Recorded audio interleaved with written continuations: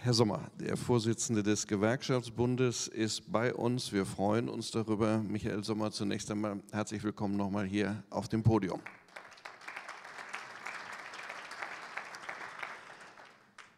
Herr Sommer, also Klage war überfällig, das ist die Haltung der Gewerkschaften insgesamt, aber wo ordnen wir uns da ein? Fangen wir mal an, auch mit den Vertretern jetzt der Gewerkschaften, die in solchen Gremien sind. Sie selbst sind es auch. Was sind Sie da? Ich bin Interessenvertreter der Arbeitnehmerinnen und Arbeitnehmer, als solcher bin ich gewählt. Ich bin auch nicht schizophren. Ich gehe dort als Gewerkschaftsvorsitzender hin und vertrete die Interessen von abhängig Beschäftigten, jedenfalls in meinem Selbstverständnis. Und jetzt fängt schon das erste Problem an. Ich will Ihnen das mal schildern, weil das ist mir alles ein bisschen zu, ähm, na sagen wir mal, nicht nur theoretisch, sondern teilweise auch oberflächlich. Als ich das erste Mal in den ZDF-Fernsehrat kam, ich hatte es versäumt, am Vorabend an der Freundeskreissitzung teilzunehmen, musste ich mich orientieren. Und jetzt will ich nur mal den verehrten Zuhörerinnen und Zuhörern mal den Sitzungssaal schildern. Das ist eine lange Querbank und dann ist wie so eine Fischgabel sind drei Bänke. Und wie von selbst versammelt sich an der einen Bank sehr viel mehr. Das ist der Freundeskreis, der hieß damals noch Koch. Der heißt heute Jung. Und dann gibt es eine Mittelbank, da sitzt vorne der Verwaltungsrat, wenn er da ist. Dann ist eine Pause und dann kommen hinten sozusagen die bekannteren ZDF-Gesichter und die sich dafür halten. Und dann gibt es eine dritte Reihe, da sitzt dann der heutige Freundeskreis Bergmann. Da sitzen heute Linke, Grüne, SPDler. Ja? Der ist kleiner als der Schwarze und die sitzen dort. Und als ich mein Abschiedsessen mit dem Herrn Schächter hatte, hier in Berlin, als er als Intendant aufhörte, habe ich zu ihm gesagt, wissen Sie, Herr Schächter, wenn Sie einmal zu mir gesagt hätten, setzen Sie sich doch mal in die Mitte, Herr Sommer. Dann hätte ich zu meinem Kollegen vom Beamtenbund, der auf der anderen Seite sitzt, der auch Interessenvertreter von Arbeitnehmerinnen und Arbeitnehmern ist, jedenfalls sagt er das, gesagt, komm, wir setzen uns mal in die Mitte. Und dann hätte man vieles auflösen können.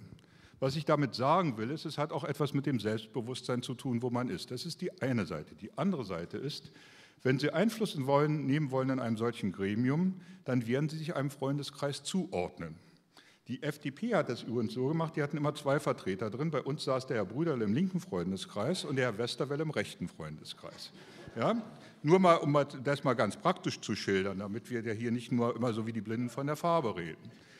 Aber wenn Sie zum Beispiel wollen, dass Sie sagen, ich will tatsächlich Einfluss nehmen, zum Beispiel auf programmliche Fragen. Das war zum Beispiel mein Ziel. Und ich habe gesagt, ich würde ganz gerne in den Chefredaktionsausschuss. Das ist der Ausschuss, der sich befasst mit allen Obliegenheiten des Chefredakteurs, das heißt Politik und Sport. Und das andere ist der Programmausschuss, Programmdirektor, die machen Kultur und sowas und äh, bunte Welle und alles weitere. Ich will das gar nicht missachten, beides sind wichtige Programmbestandteile. Ich wollte aber in den Chefredaktionsausschuss.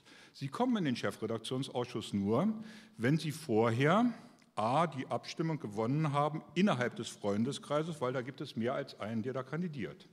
Und zum Zweiten muss es dann auch eine Verständigung geben mit dem anderen Freundeskreis, die nämlich die Dreifünftelmehrheit zum Beispiel über den ZDF stellen, die dann sagen, wir wählen den mit oder wir wählen den nicht mit.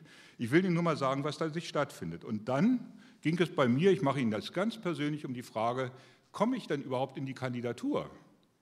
Und dann habe ich gesagt, ich kann mich auch in die Mitte setzen. Ja, so, was ich dann in dem Chefredaktionsausschuss mache, ist, ich vertrete dort nicht Rot-Grün oder Rot, sondern ich vertrete zum Beispiel in meinem Selbstverständnis die Interessen derer, die ich zu vertreten habe, zum Beispiel die Frage, ob zum Arbeitnehmerinteressen überhaupt eine Relevanz haben dort oder nicht. Und ich erlaube mir ab und zu auch mal zum Beispiel Frontal 21 zu verteidigen. Die werden nämlich systematisch seit mehreren Jahren mit Programmbeschwerden von der rechten Seite überzogen, um die mundtot zu machen. Und bislang haben wir das verhindert, im Chefredaktionsausschuss die mundtot zu machen. Ich rede jetzt mal bewusst mal ein bisschen über die Praxis. Und dann werde ich Anlass nehmen, zum Beispiel, wenn ich jetzt bei der ARD wäre, würde ich mal nachfragen, sagen Sie mal, finden Sie es eigentlich gerechtfertigt, zum 75. Jahrestag der Reichspogromnacht ähm, gerade einen Film über Rommel im ersten deutschen Fernsehen zu zeigen? Ja?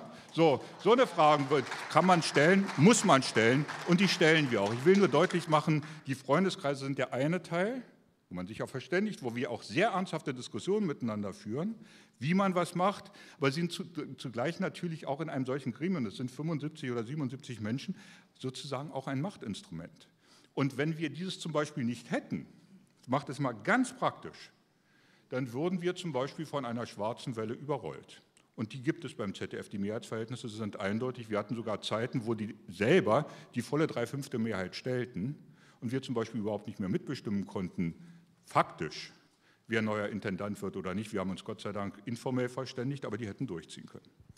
Jetzt ziehen wir einen Strich drunter. Danke für diesen Ausflug in die Praxis. Das macht das nochmal sehr anschaulich. Ziehen wir einen Strich drunter und sagen so, was müsste sich denn ändern?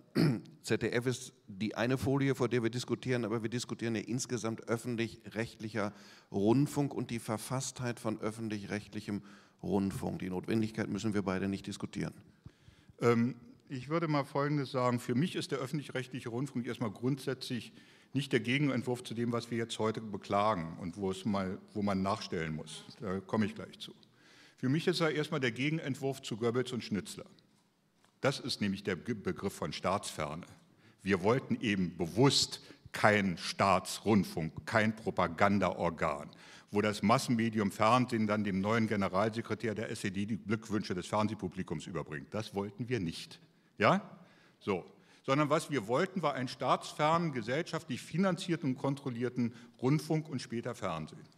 Dazu gehören für mich ohne Frage die Organisationen, die in diesem Land Verfassungsrang haben. Das sind zum Beispiel die Verbände der Wirtschaft. Das sind die Verbände der Arbeitnehmer, 9 Absatz 3 Grundgesetz.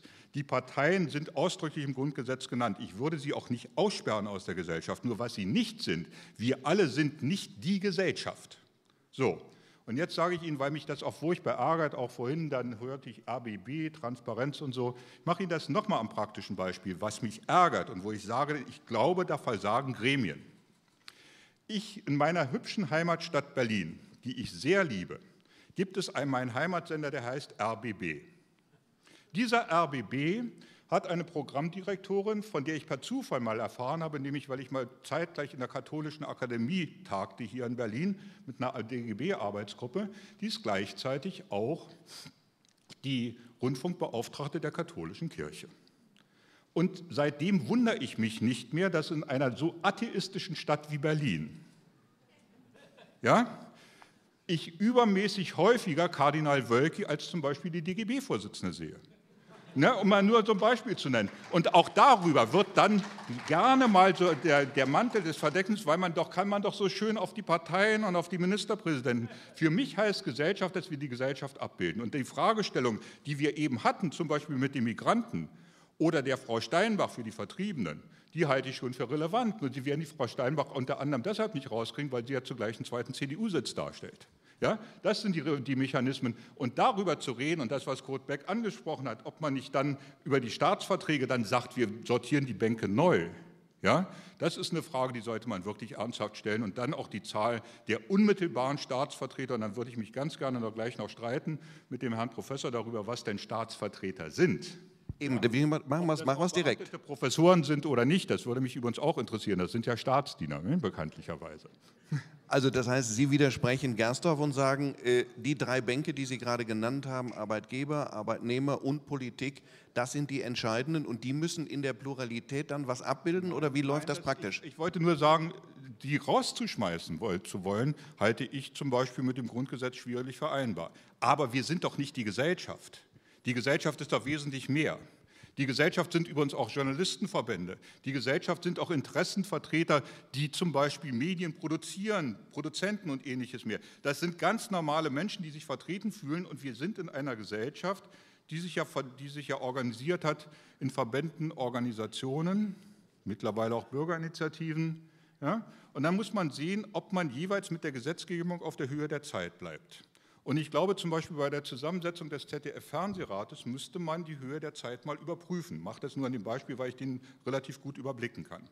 Da sind Organisationen drin, die sicherlich ihre historische Bedeutung hatten, aber die, sagen wir mal, 21 Jahre nach der deutschen Nachbeginn oder 23 Jahre nach der deutschen Einheit wahrscheinlich eher eine historische Funktion haben wie der Bund der Verfolgten der, äh, äh, der, äh, durch die Stalinisten. Der war, ist damals reingekommen im ZDF-Fernsehrat, der ist heute immer noch drin. Und so könnte ich Ihnen das weiterschildern. Ich glaube, man muss das einfach anpassen und gleichzeitig sagen, wir haben ganz offensichtlich die Erfahrung gemacht, dass der Staatseinfluss beherrschend ist. Nur dann lassen Sie mich auch an der Stelle mal über den Mechanismus reden. Der Staatseinfluss wird sicherlich am Fall Brender, wurde die ausgeübt von Herrn Koch. Der Staatseinfluss in Alltäglichen wird ausgeübt durch die Chefs der Staatskanzleien. Und das kann man auch namentlich machen. Die sind diejenigen, die versuchen, die Strippen zu ziehen, nicht immer erfolgreich. Wir wehren uns auch teilweise, ja, um das auch mal zu sagen. Aber der Versuch läuft von Sitzung zu Sitzung.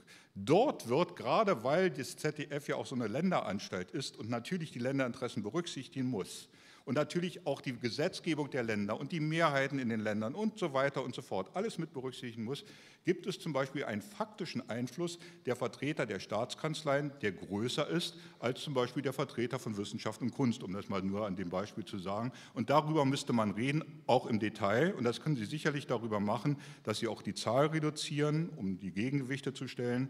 Und es hat meines Erachtens auch sehr viel damit zu tun, mit Selbstverständnis, man da reingeht. Ich gehe zum Beispiel in das ZDF rein, möglicherweise anders als mein Kollege vom Beamtenbund, als Vertreter eines Einheitsgewerkschaftsgedankens. Und ich bin durchaus in der Lage, das auch dann zu machen. Nichtsdestotrotz habe ich mich bewusst, auch aus Gründen der Durchsetzungsfähigkeit, übrigens auch aus Gründen der Sympathie, dem Freundeskreis der Linken zugeordnet.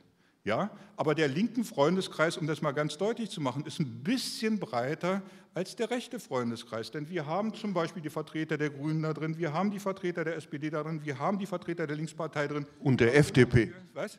Und der FDP. Na, ich weiß nicht, ich glaube, der Herr Brüderl ist jetzt raus, aber ähm, äh, ja, nee, der ist dann, der ist raus und dann ist, hat der, äh, der Generalsekretär Herr Döring ist dann nachgerückt ähm, der Parteien. Ähm, der ist dann gleich auf die richtige Seite gegangen. Ähm, ähm, aber nur noch mal ein letztes Wort zu den Parteienvertretern.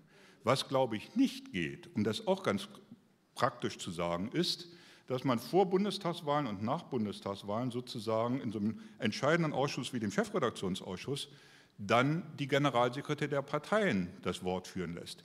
Ich will Ihnen sagen, ich habe das 2009, 2010 verhindert, indem ich gesagt habe, wir diskutieren. Da war eine Situation, um Ihnen das, das Leben ist ja immer konkret. Da ging es darum, wir werten mal aus, haben die neuen Formen sich bewährt, sind die Programmplätze richtig, gucken die Leute um 20 Uhr oder gucken sie heute erst um 21 Uhr und so weiter. So eine ganz praktischen Fragen, die aber nicht unwichtig sind im politischen Meinungsbildungsprozess. Und dann wurde von uns, wurde von vorne gesagt, von dem Vorsitzender des Ausschusses, übrigens Vertreter des Arbeitgeberverbandes.